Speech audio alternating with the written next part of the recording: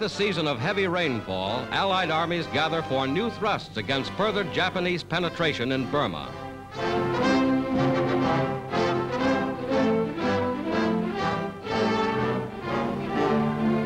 Here is the theater of operation. In this sector, Brigadier General Frank Merrill commands. His men, seasoned veterans of fighting on Guadalcanal and New Guinea, are known as Merrill's Marauders. Now in Burma, they go to wage their third major campaign against the Japanese invader.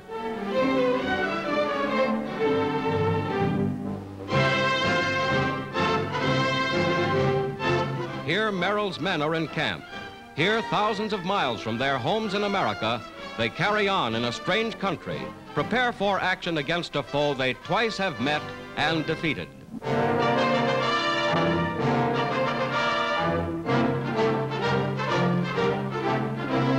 For many, there are medals for heroism, for valor, for wounds received in action. Now they're on the march.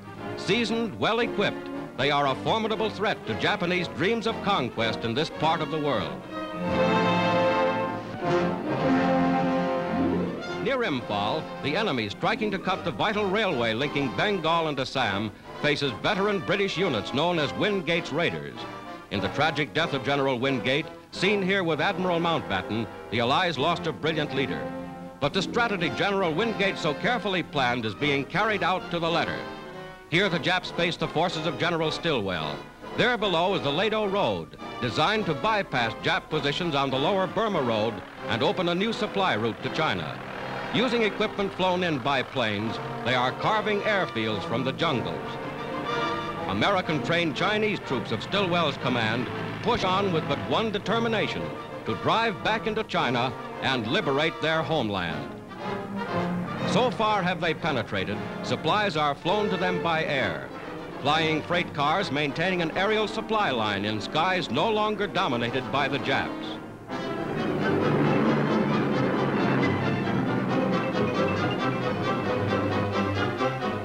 Rifle slung over his shoulder, General Stilwell marches with his men as they move into the Mogaung Valley. Now less than 100 miles from China, they open fire on the enemy.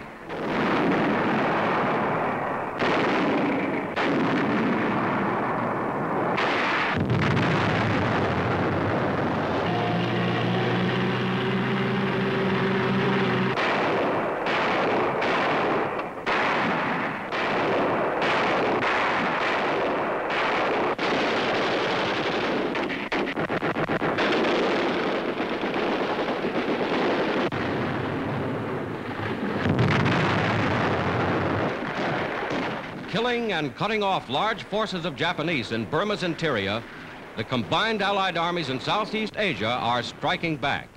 Tanks playing an important role as United Nations forces drive forward to the aid of embattled China.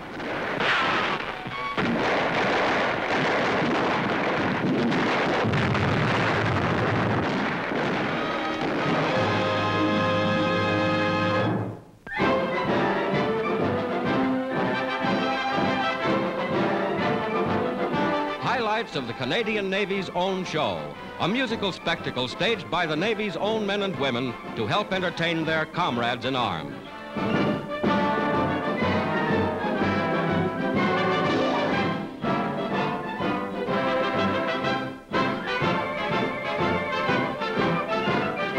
The uniformed audience is most appreciative, particularly when their own sailorettes take the spotlight.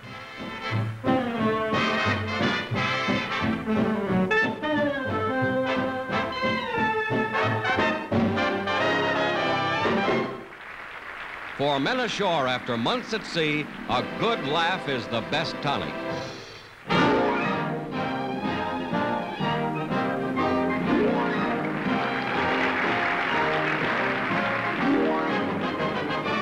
Patriotic finale, a salute to the Union Jack and to the flags of the United Nations.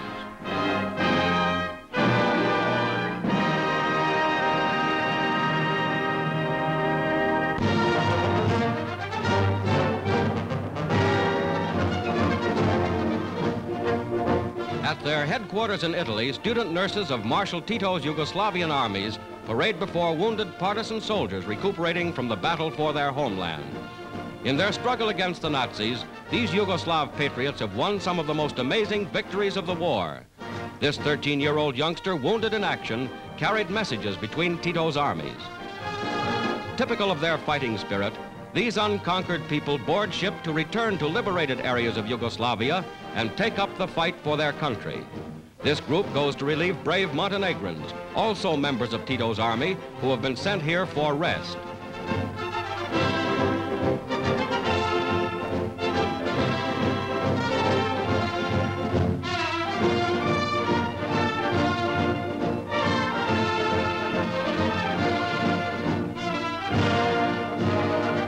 Their red-starred banner, Tito's troops continue the fight for Yugoslavia.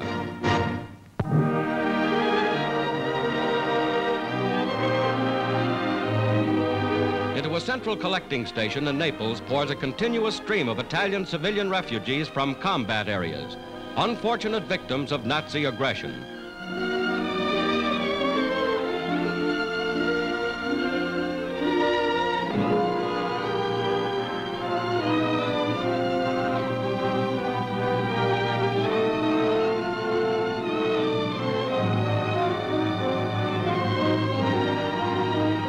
The Allied Control Commission in Italy, handling a major military problem with every regard for humanity and decency, supplies food, clothing, and medical aid for these helpless people.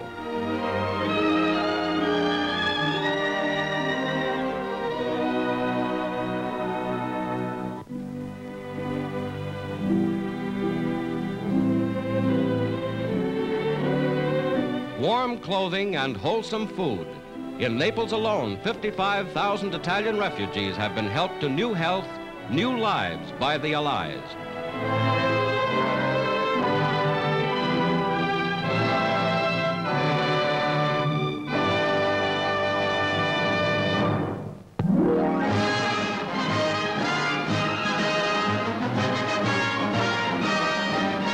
In North America, railroad marshaling yards at an eastern port reveal freight cars loaded with thousands of tons of war materiel awaiting shipment to Allied invasion forces.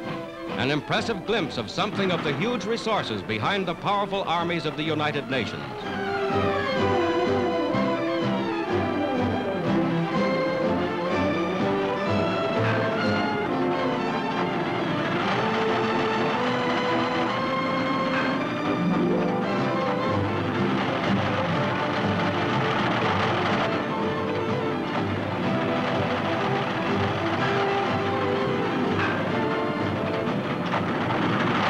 Into thousands of ships go the products of the United States and Canada.